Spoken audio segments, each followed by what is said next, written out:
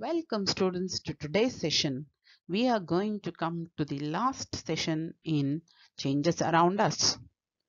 Let us look into some of the changes where there is change happening due to heating or expansion of metals. Have you ever wondered how the wooden handles are fit into iron implements? There are some pictures of iron implements in this slide. You can see there is a ring for the iron implement and the wooden handle very snugly fits into the iron implement. It is so tight that when you use it, it is, does not come out of the wooden handle. How does this happen? Let us look into the physical process of fitting the wooden handle into the iron implement.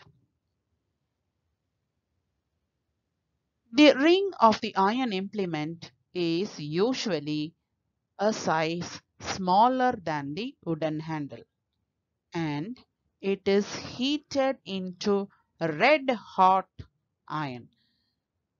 When it gets heated, it uh, leads to expansion of the metal and the ring becomes slightly larger in size due to expansion.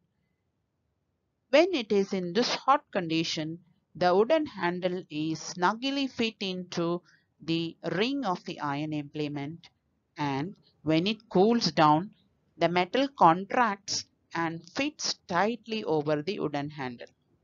This is how this process is done. So here you can see a change which is resulting due to heating and expansion of metals. This leads to expansion and contraction of metal to fit tightly over the wooden handle.